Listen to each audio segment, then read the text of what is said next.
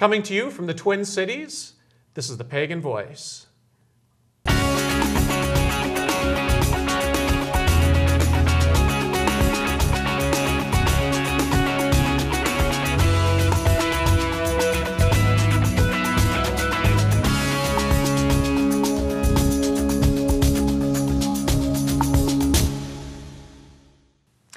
The Kumbh Mela kicked off on January 14th and will be the largest religious gathering in world history.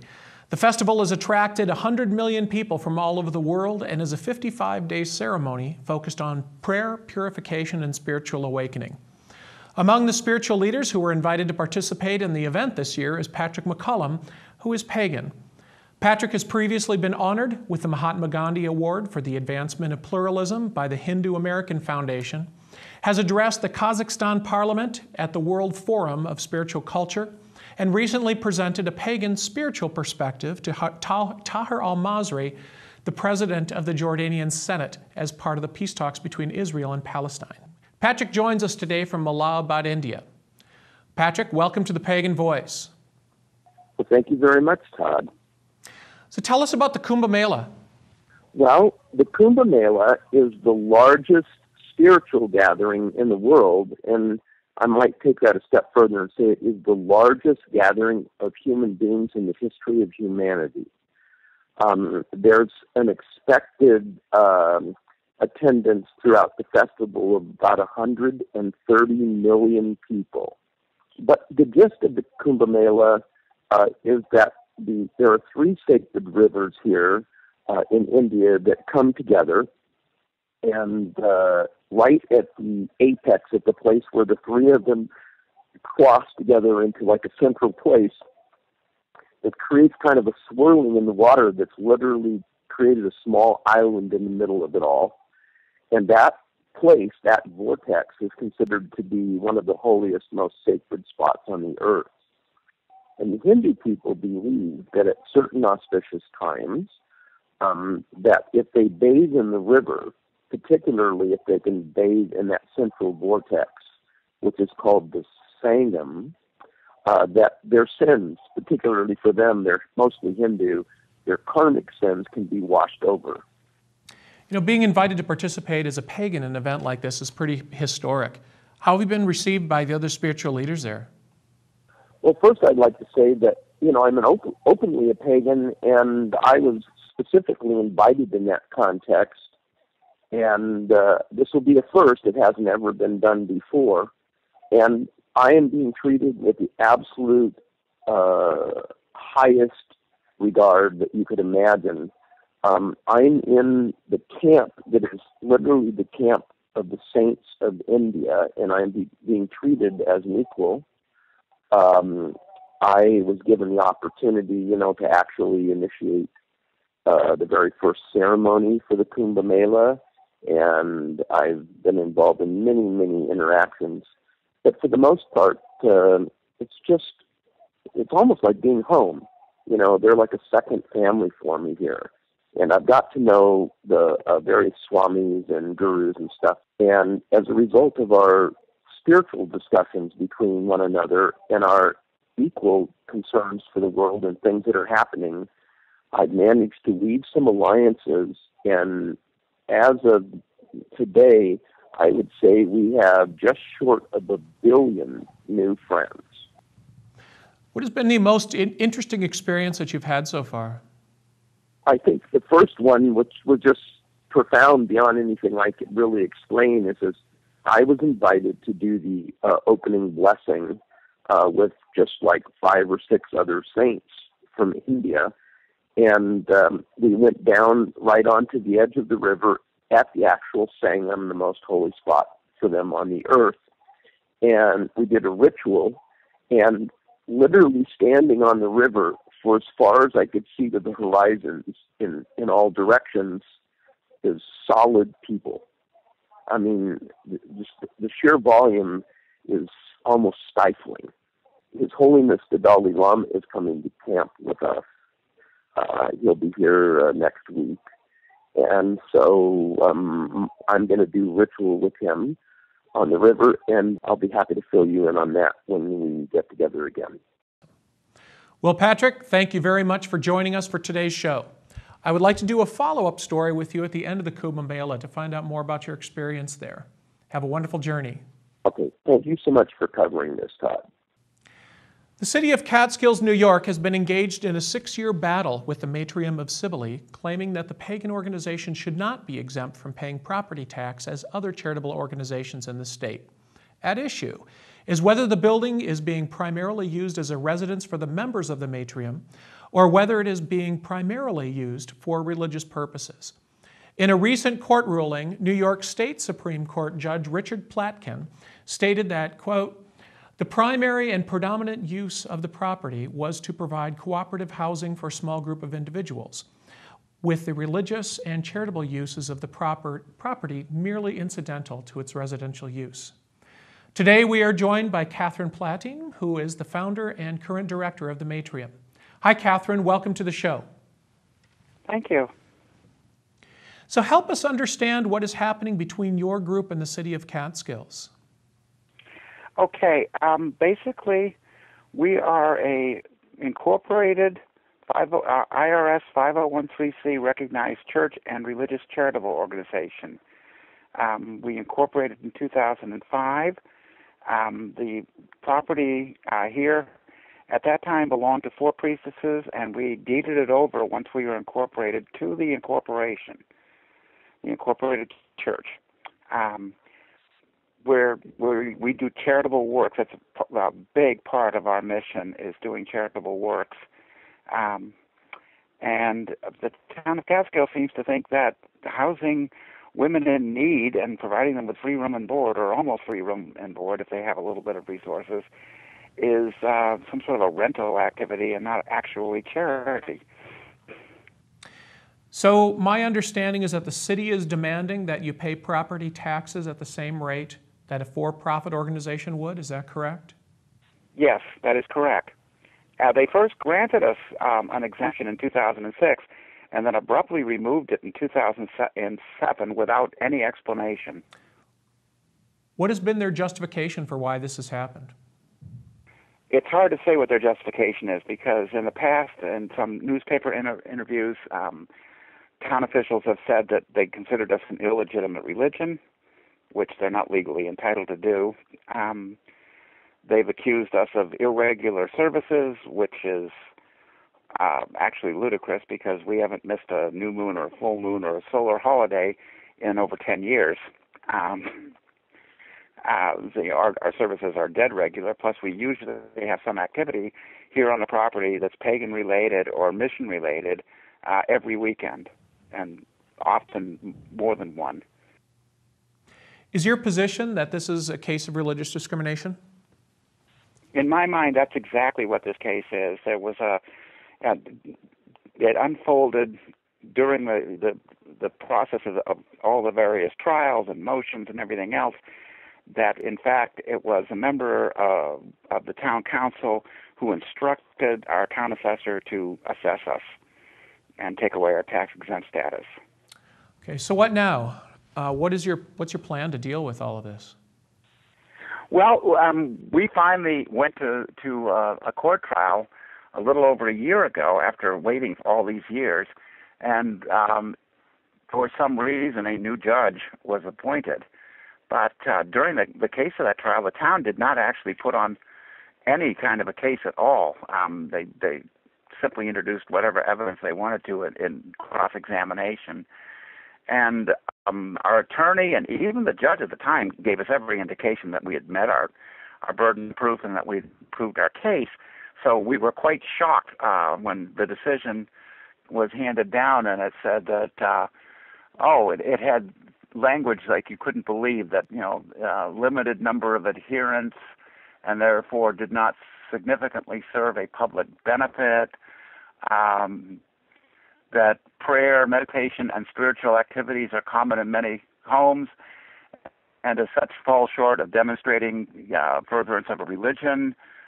Um, and basically said that our house was used to house priestesses and their guests, um, and therefore wasn't eligible for exempt. Well, that's the, that last part is really interesting because under New York law, that is in fact an exempt religious use of a property that is owned by a religious corporation.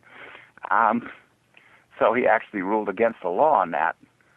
So, if somebody wants to find out more about uh, what is going on between you and the city of Catskills, where can they go for more information?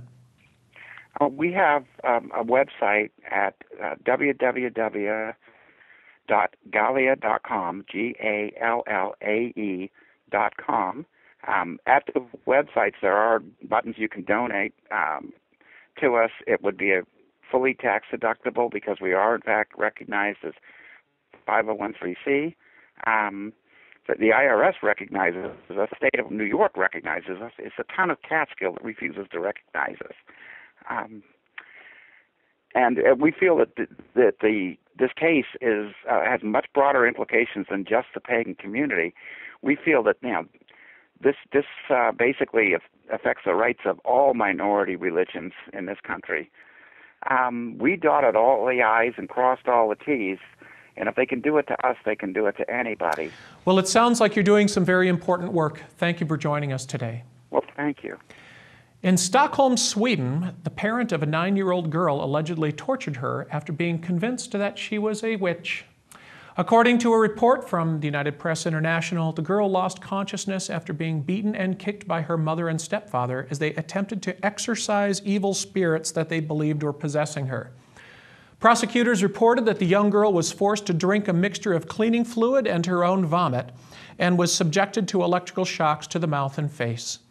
The parents, whose names are being withheld, have denied any wrongdoing, and according to prosecutor Daniel Larson, still believe that their daughter could be a witch. This is the second case over the past year in Sweden in which parents have been accused of abusing their children in the belief that they were witches. In India, a 55 year old woman was beaten to death by her in laws in the Moti Timbi village last week after they branded her as a witch. According to the police, Vita Devi was sleeping in her house when her brother in law and his family members forced their way in and dragged her out into the street. After yelling at her for being a witch and accusing her of casting evil spirits on other families in the area, they beat her with sticks and iron rods until she was dead. When her husband attempted to come to her rescue, family members held him back. Cases of women being branded witches and either being tortured or killed in India, particularly in the tribal areas, has become so rampant that a new law called the Rajasthan Women Prevention and Protection from Atrocities Bill was passed in 2011. According to the law, the identification of a woman as a witch that results in her mental and physical torture and humiliation is now a crime that carries a stiff prison sentence. Unfortunately, this has done little to stem the tide of almost daily attacks against women in the country under the guise of being witches. You know, every time I report on stories like these, I cannot help but feel a sense of loss for all of humanity. Our willingness to demonize each other and subject our brothers and sisters to humiliation and suffering, all in the fruitless attempt to alleviate the anxieties that reside within ourselves simply leaves the world a sadder place and does nothing to shield us from the fear of an evil that doesn't even exist. I receive comments from viewers every day who question what stories like the violence against women, climate change, income inequality, and gender issues have to do with paganism. I submit that the rituals and teachings of paganism, as beautiful and powerful as they are, represent only one aspect of what it means to live as a pagan in today's world. It is also necessary for us to come down off of our mountain, out of our broom closet, and engage the rest of the world.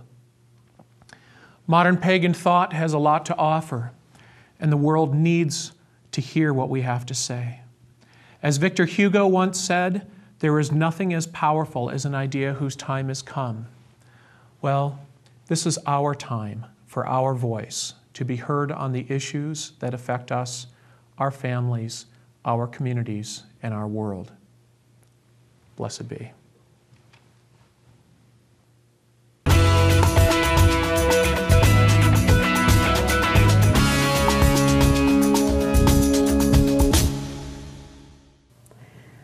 Minnesota has a rich cultural inheritance given to us from the Norwegian immigrants that settled here over 100 years ago. What we would now call paganism or heathenry, to them was simply the old ways. Joining me in the studio today is Kari Tauring, a local artist, scholar, and advocate for the preservation of Norse paganism. She is known as a volva, or staff carrying woman. A volva is a theologian, healer, and educator according to the old ways. And today she will share with us ancient concepts of this tradition that have relevance for our modern times. Welcome, Kari. Thank you for joining us today. Well, thank you so much for having me. I'd like to start with the, some of the key concepts of your tradition, such as the orlog. Tell me a little bit more about that. Okay, orlog means uh, ancient law or primal law in Old Norse. And it has, um, I oftentimes use a spindle to, to describe it. When we are born, we have all of this stuff that was given to us by our parents and their parents and their parents and their parents. And not just the genetic material, but also the things that happened to them in the environments that they were raised in and the cultures that they were raised in. And so things like war or famine, different things, affect how humans interact with one another. And those interactions can either be high functioning or dysfunctional. And um, when they are dysfunctional, um, they kind of creep along into our urlog until suddenly here we are in the modern world with habits or tendencies that are um, maybe self destructive or um, not high functioning in, in one way or another. And we don't know where they came from. We assume that we're damaged. But it's, if we can learn to look into our urlog, we can find out which patterns those particular dysfunctions came out of and then shift those patterns in our own lives. And while we can't respin the past, we can change our response to right. what was spun. Mm-hmm. So what you're saying is that you know the attitudes and, and, notions that we receive from our parents as children, we grow up with. Mm-hmm. What we don't realize is that they inherited that from their parents, who inherited that from their parents, and so on. And some of these attitudes are, were created in, in another time and, and place? Right. You know, there are a lot of um, people who who say, "Oh, she she was uh, she grew up in the Great Depression," you know, and so you get these old ladies with hoarding every piece of tinfoil or every, you know, they learned scarcity at that time, and then that translates to how they raise their own children and the attitudes that their own children come up with. Um, and so it can be as simple as we aren't in a depression in that way. We don't have to hoard things. Um, it can be as simple as just shifting that through the understanding of where those tendencies come from. Sure. We can shift that in ourselves. Now, yeah, that makes total sense. And, and one of the things you, you talk about in your teaching is that, that inherited cultural trauma. Mm-hmm. Now, is that does that relate to the sense of the orlog as far as this energy, attitudes, et cetera, that have been passed down to us? Is that the same thing? Or is it different? Well, uh, inherited gr- griefs or, or historical trauma is something that has been being worked with in culture groups all over the place. So, Native American cultures have been working with this very heavily ancestor memory and ancestor trauma and how that plays out in the dysfunctions in the community today. Um, in um, Holocaust survivors, there's this whole um, inherited cultural trauma that they are working with. And so every culture has it. In Norse tradition, we, we call it um, and it's part of the urlog. So talents and um, burdens are all come through the urlog. Okay. So that's one of the reasons why ancestor honoring is such a huge and important part of Norse tradition.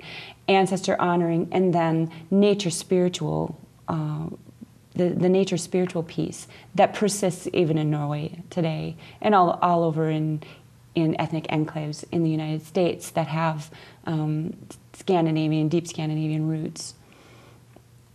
So when we when we look at our modern society, we look like let me take um, like black on black violence for example.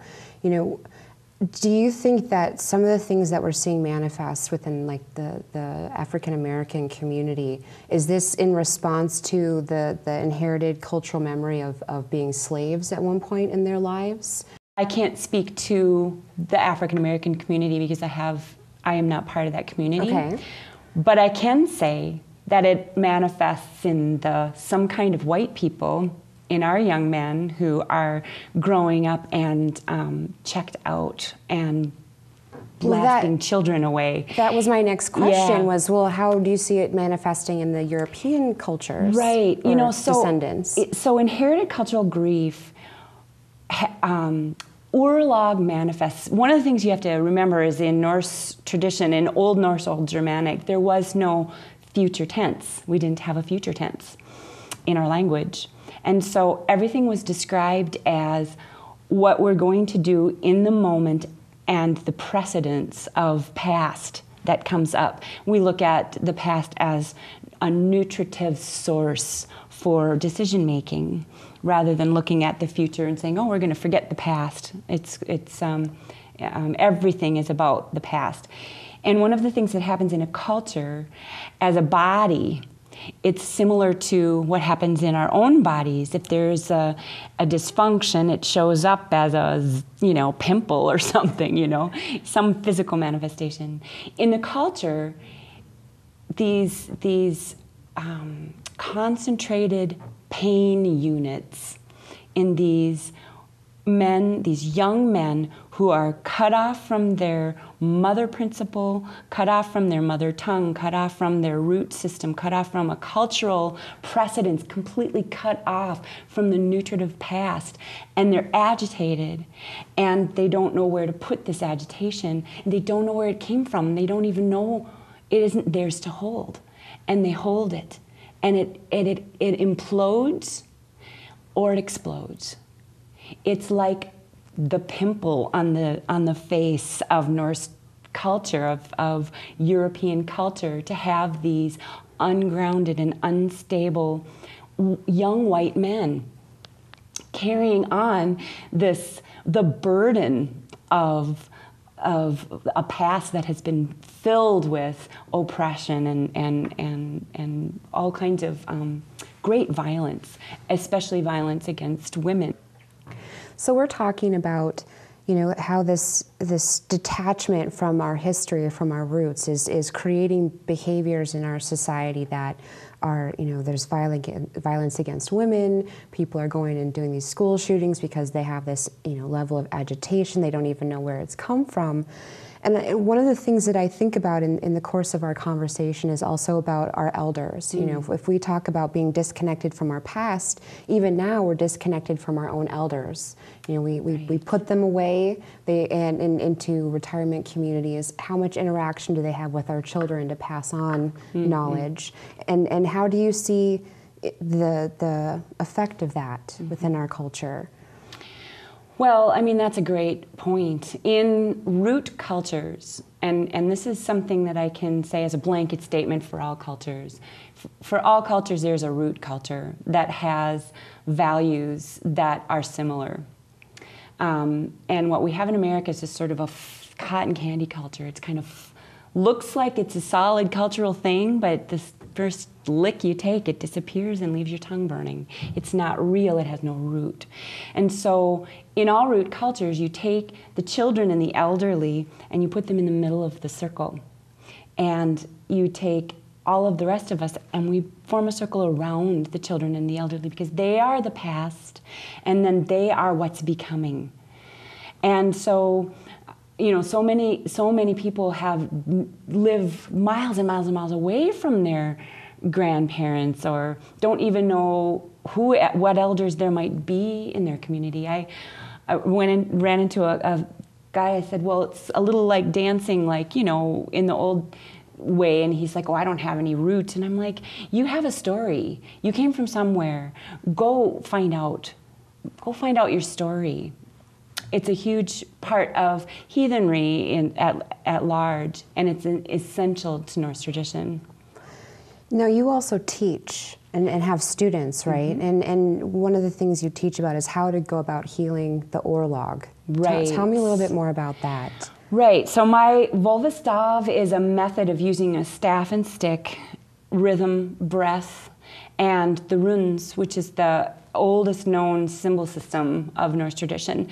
And um, by using these tools, we can balance the brain, we can realign our bodies with the world tree, we can begin to access ancestor memory and process it. Um, and it's, uh, I have two apprentices and a bunch of students around the, the country, so that's wonderful. That's fantastic. And, and one last thing before we, we wrap up here. You have a CD coming out. Right. Tell me a little bit about your CD. Right. Well, The Neckin and the Bear is my new CD. Um, and one of the ways of getting at our ancestor stuff is through song, music, dance, the language. So it's about searching into the language. Um, and this particular CD is about the Neckin is a water spirit, and it, it is in my last name. My grandma's last name was Nikrim, which means the home of the Neckin. And then the bear is a fidya of mine. So the um, the bear and the Neckin come together in this CD and two suites of songs that interact and kind of describe my Urlog.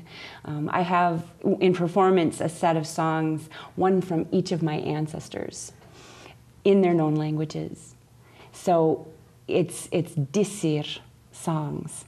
And singing in those songs brings up those memories and starts to heal that Urlog. And, and that's just a wonderful way of getting at this stuff. Kari, thank you so much for coming in today. It's been really fascinating talking to you, and I hope that our conversation encourages people to look into their own roots. Thank you yeah. so much. Thank you very much. It was a pleasure to be here. Great. For many of us in modern American society, much of our cultural identity was lost when our forefathers and mothers crossed the Atlantic. Coming to America was an opportunity for a new beginning but it also denotes a great forgetting. There's wisdom, guidance, and healing to be gained from connecting with one's own genetic heritage. For how can we know where we are going as a society if we have no idea where we have been? Thank you for watching. More to come from the Pagan Voice.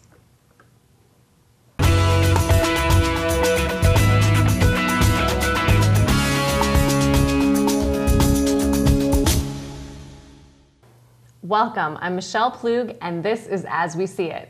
During this part of the show, we will discuss a few topics that are impacting the world today from our perspective. For the first topic, we will discuss Beijing. And it has reported that the worst air quality since the United States Embassy began keeping record in 2001. The rating exceeded the highest level on a scale of 0 to 500, coming in at 755. To put this into perspective, any rating over 301 is considered hazardous. It is said that the people cannot see the road from the fifth story of any building. You know, this is what happens when there's no regulation on, uh, on environmental things. Uh, one of the things that I hear in uh, you know um, American businesses talk about all the time is you know we need to loosen the regulations so that we can compete in the world marketplace. But this is what happens, right? I mean, there's a reason why we have environmental um, environmental regulations in place because right now to live in in China, uh, it well particularly in, in certain areas um, it's just it's like living in a in a toxic cloud. Mm-hmm. You know, and, and to kind of put this into perspective, you know, um, New York on a bad day has a rating of 60. Okay, so we, you know, if we think that there's cities here that have a bad air quality issue because of population, et cetera, et cetera, it's nothing at all like what they're experiencing in China, and it just I, I, feel like what we're seeing is is this is what happens when you have complete disregard for the people and the nature of your country. They are sure labor's cheap over there, sure you can make goods for cheap over there. you know, but at the expense of their of their people. You know, the, the healthcare costs are astronomical. You know, they have more deaths from lung cancer than anything else because of their air quality. I mean, 16 out of 20 of the world's most polluted cities are in China because they have very little regulations. And I just, it, it, it makes me sad to see that something's got to give, something's got to change in the way that we do business and industry, I think. You know, what I found exciting about this story was the fact that this is one of the first times China's been able to, or the media in China has been able to reach this many people about a subject like this. They've decided, um, I can't remember what the act is called, but they've decided that, you know, media is allowed to cover these types of issues from here on out on the environment. And that's what I think is so positive about the story is now there is global awareness because journalists and other parts of media are allowed to cover it. So it's a voice to the people again to say, hey, listen, this really isn't okay. And if um, and, and, this is a real this is a really big issue, mm-hmm. um, be, partially because of how big China is. I mean, China has uh, 25% of the world's population. And as their industry grows and as their energy cons- consumption increases, the amount of, of pollution that is going to be produced, mm-hmm. the amount of greenhouse gas that's going to be released, uh, is just going to grow exponentially. And uh, I, one of the things that I thought was really, really disturbing, there were some satellite photos that were showing some of the smog from China. And you could actually see streaks of fog, or this, this smog, uh, crossing the Pacific. And they've actually been able to measure in San Francisco smog from China. That's unbelievable. But one of the, you know, it's great that, that, that the government is starting to talk about it, the media is starting to talk about it, things are starting to shift, but there's still, you know, opinions in China that's like, we don't want to have to live with an American standard. You know, why should why should the Americans impose their silly regulations on us? And I'm like, well, we don't have to impose anything on you. You might want to think about whether or not you're going to have any people to populate your country in the next hundred years if everyone has died from lung cancer. I mean, you know, yeah, you're you're becoming a rich country now, but then when there's no one left to enjoy that, or or it's completely inhospitable, what have you done? What have you lost at the sake of gaining power and wealth, really? And is it worth it? And wealth in, in one respect. Yeah. Mm-hmm. Because I and and this is this is one of the arguments that I you know that I I I, uh, I make with people who are really against taxes. Because people are like, I shouldn't have to pay any taxes. I earned all this money, and it's like, well, you know what? Um, paying paying extra to live in a in a clean world is like paying extra for a really good car. You know, you're going to be better protected. You know, it's going to perform better, and uh, and and the, the, the overall experience is better. I mean, if and people spend a lot of money on cars, they spend a lot of money on homes, because they want to have a good quality of life. And uh, and the fact that uh, that it, in China there has just been there's been no regard for spending money on these kinds of things. It's it's not as though it's not as though they're, they're really gaining uh, uh, wealth in, in kind of an overall resource, but rather they're, you know, in some respects, they're, they're getting some money, but at the expense of, of their nation's health and, uh, and well being. And it's actually costing them, um, in 2005, they ran a report that it's cost China um, $112 billion in one year for their air pollution.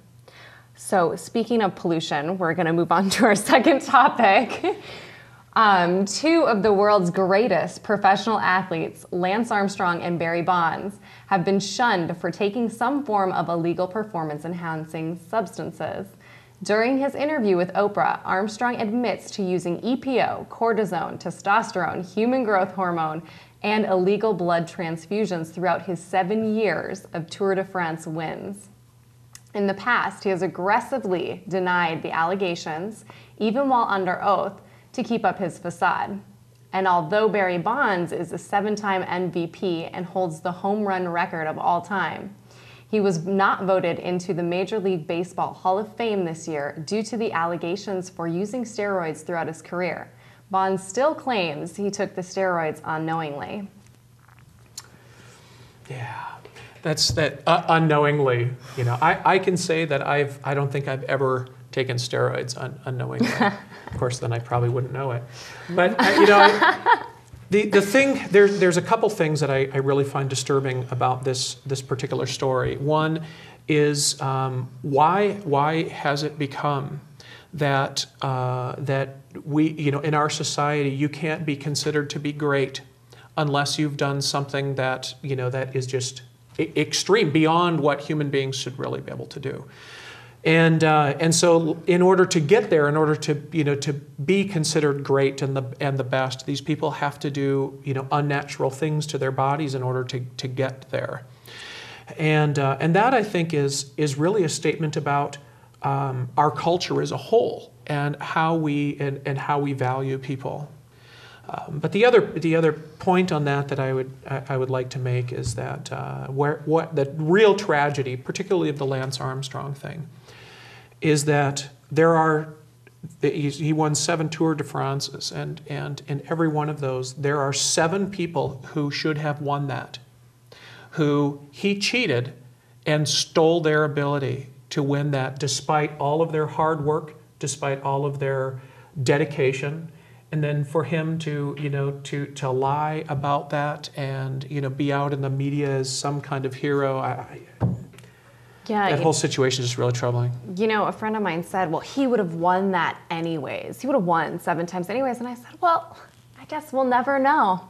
Mm-hmm. i guess we'll never know. And what a shame that is. We'll never know what his natural ability and talent was because he didn't give that a chance.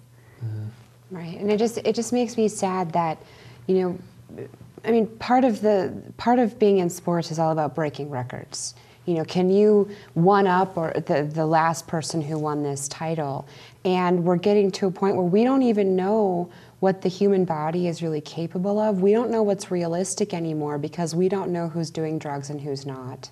You know, and I think that it's incredibly uh, sick that people would be willing to sacrifice their reputation and their health and their career for a few years worth of fame and then to have it all like with the case of Lance Armstrong I'm thinking why didn't you retire 2 years ago before all this came to a head?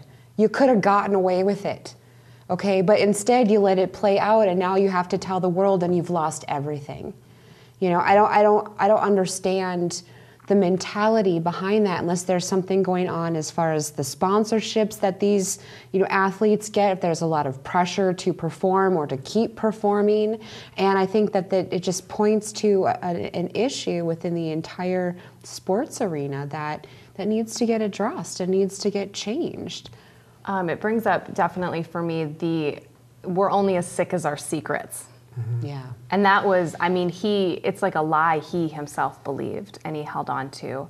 Um, but also, what got brought up for me was what did, you know, what was the deal that was created so that he would speak to Oprah? Because it's at the end of the day, so much of this is about the sponsors and the money and this and that, where they'll take a lie like that to their grave if they can to keep up with the money.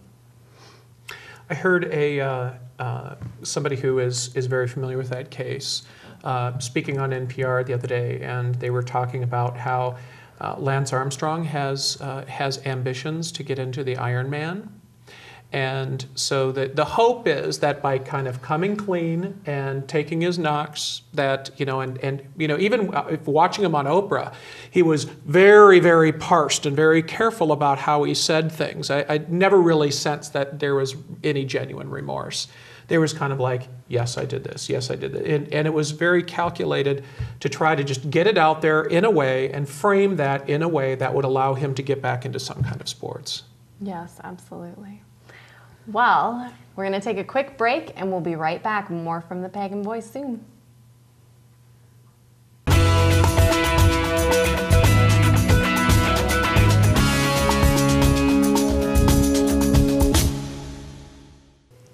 According to Pentagon figures from the Associated Press, military suicides among active duty troops reached a record high in 2012 with 349 American soldiers taking their own lives. This number exceeds the deaths of Americans in combat in Afghanistan, which came in at 295. Interestingly, half of the soldiers that committed suicide had never been deployed to a war zone. But according to military suicide researcher David Rudd, these 50% are facing problems within relationships, money, and other everyday dilemmas. The other main category of troops committing suicide tend to be Iraq and Afghanistan war veterans suffering from post traumatic stress, depression, or substance abuse. Although this is a serious situation that needs to be observed and handled with compassion, let us also consider that military suicides are still at a lower rate than that of suicides of civilians. I don't even know where to begin with this one. I mean, it's it's tragic that this is happening, you know. And as I had been doing some reading on this this topic, you know, it was it was talking about how they've lowered some of the requirements for getting into the military. So they're thinking that maybe some of this is people with some behavior issues who had nowhere else to go came into the military, and that's part of what we're seeing. But I think that there's there's multiple sides to this to this issue. I mean, we're in 2012. Look at what's going on in our just in, in our economy today. You know, there's um, this war in, in Iraq that you know is it, it is starting to wind down, but you know many of us are asking what was the point of it in the first place, and um, I think that there's just a lot of um, still there's still stigma of being attached to being a soldier and, and going out and defending your country. So I think there's a lot of, of different things that play into what we're seeing. I, I, what I find really interesting about this is the number of suicides for people that hadn't been deployed. The, the, the PTSD, to, I, could, I could totally understand how, you know, traumatic experiences like that, mm-hmm. um, uh, especially with the associated depression and some other things that come along with that, could really contribute to a, an increased suicide rate. But I, I, I, just find it so fascinating that the people who hadn't been deployed uh, actually had, you know, had more, there was more suicides of people who hadn't been deployed than people who had. And what, what this kind of brings up for me is um, really more of a question of what's going on with our youth. Because mm-hmm. it's it, what we're seeing is we're seeing an, an emergence of, uh, of our youth that are going into the military. And, um, you know, and when you also look at what is happening with, you know, school shootings, with, you know, some of the violence that you just, you know, you just wonder what is, what's wrong. I wonder if this is just another aspect of that. Um, interestingly, that you bring that up, what um, one of the researchers said was suicides committed tended to be white men under the age of 25 with junior rankings and less than a college education. Mm-hmm. And that was the average. There's a, I, I teach undergraduate psychology, and one of the things that I, that I do when I start a class is I, I usually write three or four statistics up on the board. Uh, one of it is, is that 25% uh, of all African American males, black males, will spend some time in prison. That 95% uh, of all serial killers are white males, and 98% of all of the people who develop fibromyalgia are, uh, are white women. And you know, in looking at those statistics, the, the reason why I bring that up is, is like what is it about our society? What is it about the, the pressures that we are putting on people and, uh, and how we are, um, what our expectations are on, on individuals that is, you know, is kind of manifesting some of these things? And you look at the, the violence and, you know, the school shootings and things like that, and, and you wonder, well, you know, kids who grew up, you know, kids who grew up in, uh, in the 1950s and 60s were much more likely to have a parent at home and have, peop- and have parents that were much more engaged. Um, and you know, as, as both parents went out and worked and there was a lot more stress in the household, you know, how did that impact these kids' ability to, you know, to form bonds and attachments? And you know, now, 18 years later, uh, are we now starting to see you know, the result of some of that? I mean, I think that's a question to be asked. I don't know that anyone really has an answer to that, but I think that's something to think about. Well, you know, what this makes me think of is I had a conversation with someone at one point where uh, he was a, a, white guy and he was going on about all of the different programs and, and, and things that were uh, set up to help single mothers and immigrants and you know people of color, et cetera, et cetera. But there was no one to help him because there was this assumption that because he was a white man, he was already privileged and entitled, and therefore why would he need help in the first place? And so I think that we have these young men who don't don't know what their future is, don't know what they want, maybe don't feel like they have a future, don't know how to find help, and feel like they're surrounded by people who don't understand that they're possibly suffering in the first place. So how can we really reach into this population and go, okay, you're clearly because I mean we, we had a huge discussion last week about you know men and in the crisis of masculinity. So how can we really shine a light on this and go okay we're listening. What, what are you really trying to tell us? What do you really need? Yeah and where's the support system? Yeah. Mm-hmm. at this point where yeah what is our miss as a whole? Where's the support? How can we give that to each other? Um, so moving to our fourth and final topic a new show in Austria is making use of wasted food by dumpster diving and creating gourmet dinners from their findings. Show director David Gross and his colleagues call this cooking style and this show waste cooking. Gross was astounded by the 105,000 tons of food thrown out each year in Austria alone and decided to create awareness through television about how much of the wasted food could be used. Although Austria's number sounds high, in America we waste up to 33 million tons of food per year. The, the fact that his last name is Gross will never stop being funny. I'm, I'm sorry. I'm sorry.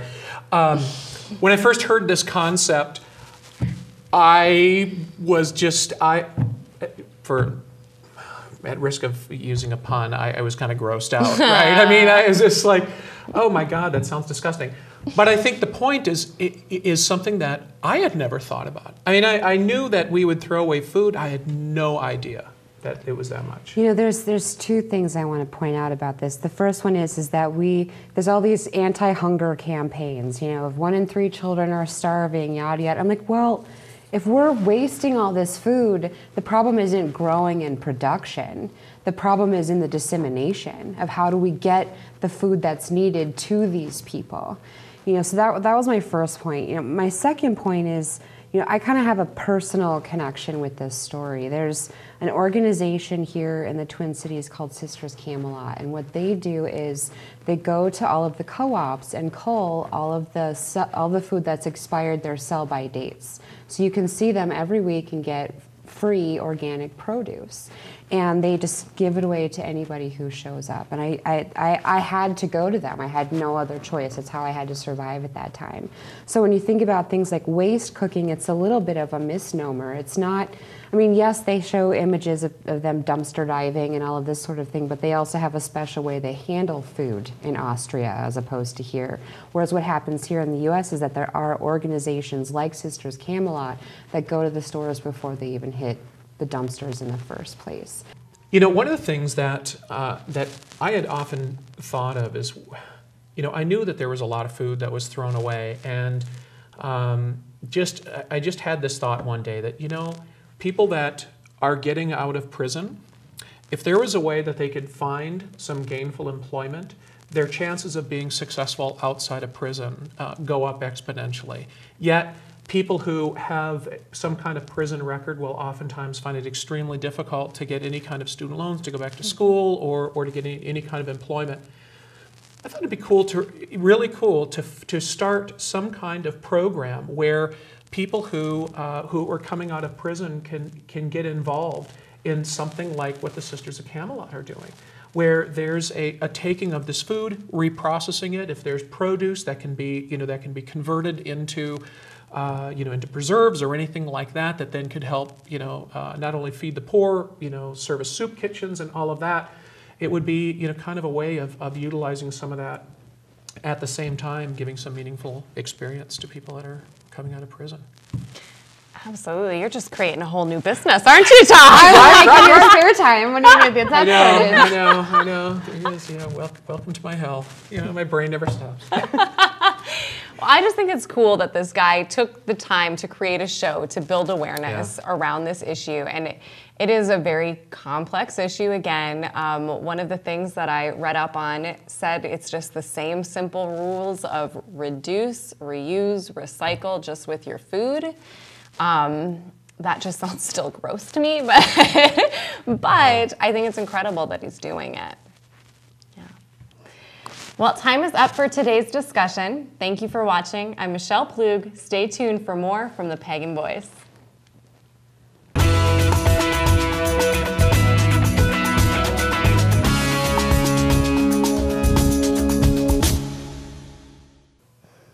Yoga is a verb and can be defined as union, a connection, and a yoking together.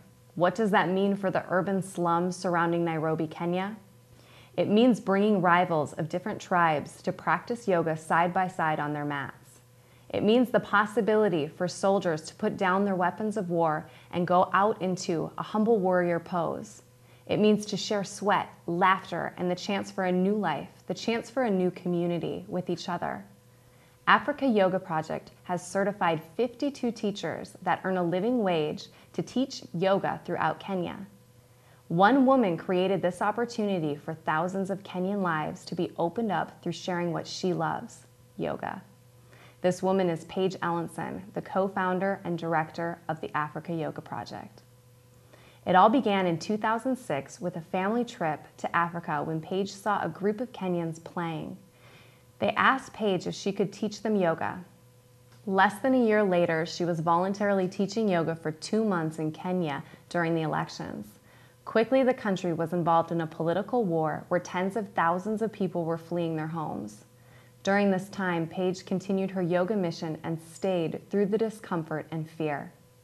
It was the process of staying which led her to commit to develop the Africa Yoga Project. She found that the yoga isms were incredibly effective not just for her, but for the greater community. She decided to stay and create from the purpose within her heart and because of this, she has changed the lives of millions.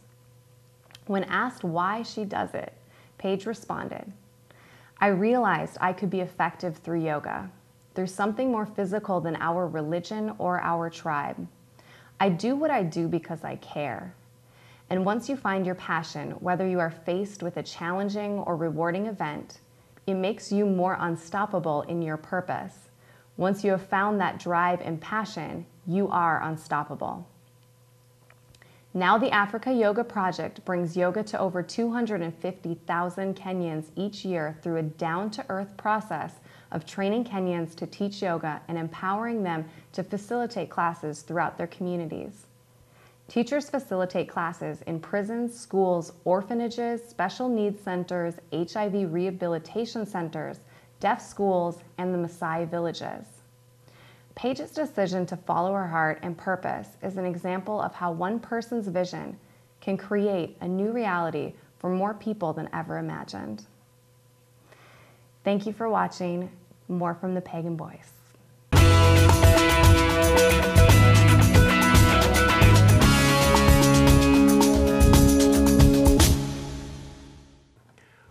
Welcome to Viewer Mail, where we read and respond to some of the comments that we received throughout the week.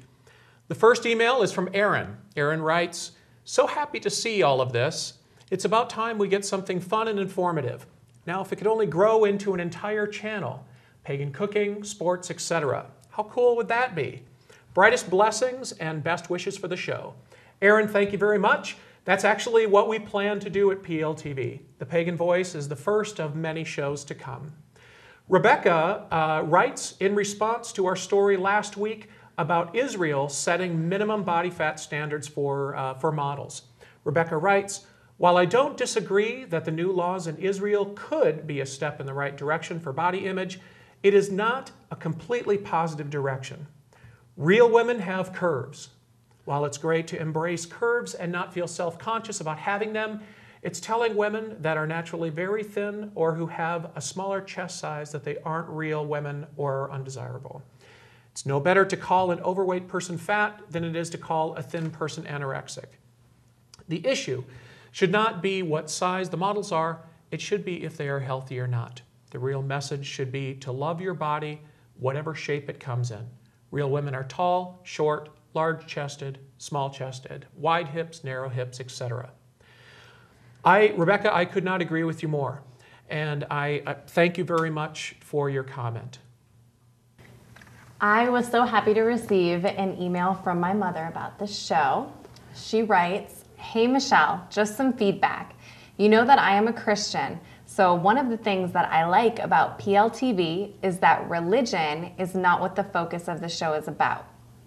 The focus appears to be in presenting the news to find the root cause to the issues instead of sensationalizing stories.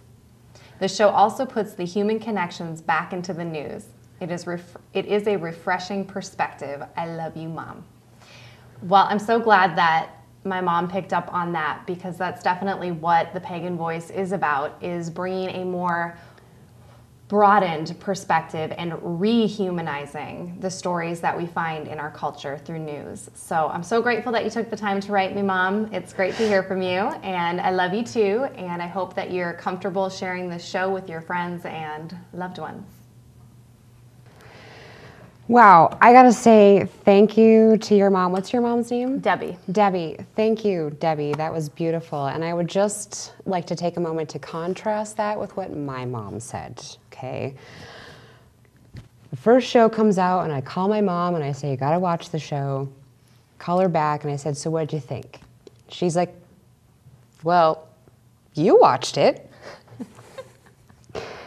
yes, but I want your opinion, Mom. What do you think? And the first thing she said to me was, You cannot do that to your hair ever again. Is that all you have to say, Mom? and, and I just, I had to take a step back and I'm like, Thank you, Mom, for your input. That's great. And the funny thing is, is that we actually have had several people write in to comment about what was going on with my hair that day. And I would just like to say this I am Brianna. I am a performance artist, and I'm going to do whatever I feel like doing with my hair. And you better like it. Thank you for writing. I love you, Mom. Awesome. So, uh, thank you very much for your comments. If you would like to sound off about the pagan voice, please, please send your comments along with your name and town to contact at paganliving.tv. Join us next week for another episode of The Pagan Voice.